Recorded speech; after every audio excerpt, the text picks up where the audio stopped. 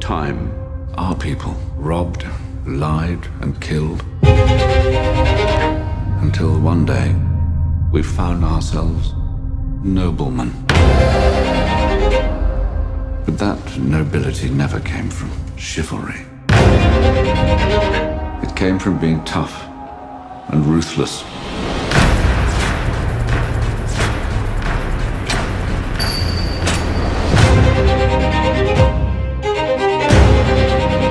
Real power is not found running off to war. Real power lies in understanding who it is you're truly fighting.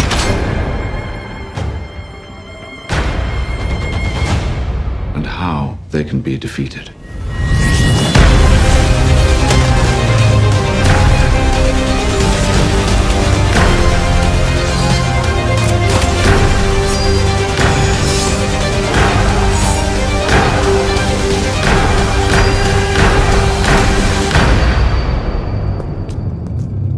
I know you want to fight.